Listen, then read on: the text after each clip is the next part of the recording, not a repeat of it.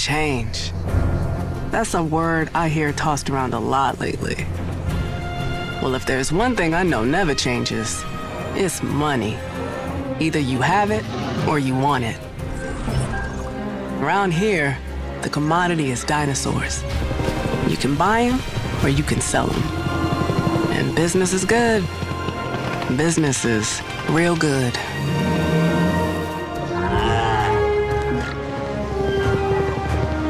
Every desert has an oasis. Malta's no different. You can build something special here from nothing. There aren't many places like that anymore. To succeed, you need to find a buyer you trust. One that has your back.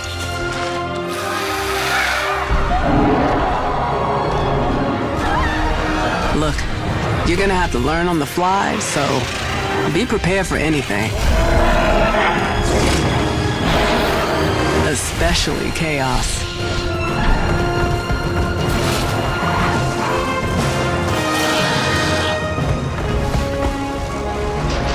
You can come to Malta with your big plans.